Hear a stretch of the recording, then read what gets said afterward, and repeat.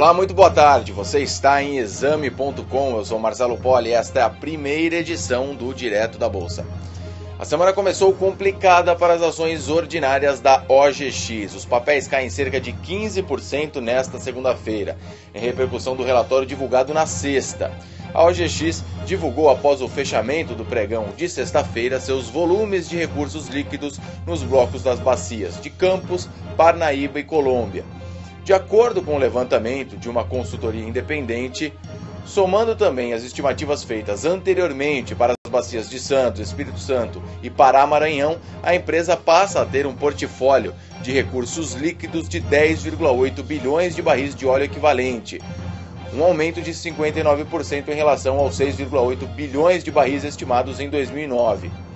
Segundo o relatório do Santander, os números divulgados são modestos demais e não levam em consideração os poços perfurados entre dezembro de 2010 e março de 2011 na Bacia de Campos. Os analistas Christian Aldi e Vicente Falanga Neto rebaixaram a recomendação para as ações ordinárias da OGX. De compra, cai para manutenção. Preço-alvo das ações ordinárias levou um verdadeiro tombo, caiu de R$ 33,00 para R$ 25,00 para dezembro de 2011. Mesmo assim, um potencial de valorização de 27%. Ainda falando em OGX, falta pouco para as ações da empresa estarem listadas na Bolsa de Londres. De acordo com Ike Batista, o processo de listagem está bem próximo de ser concluído e deve demorar no máximo três meses. E mudando de assunto, a CPFL Energia disse que está mantendo negociações com a produtora brasileira de energia renovável ERSA.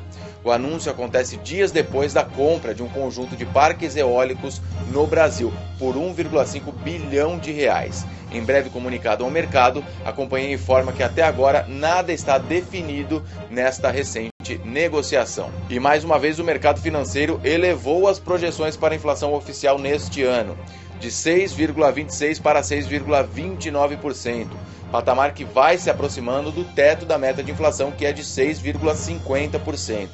São 18 altas nas estimativas de preços nas últimas 19 semanas.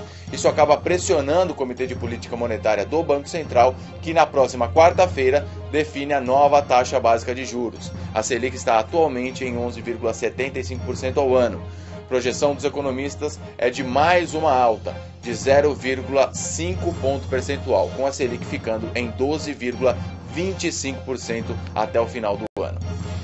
Este é o Direto da Bolsa. Tudo que você precisa saber sobre o mercado você encontra aqui em exame.com. Eu volto logo mais na segunda edição.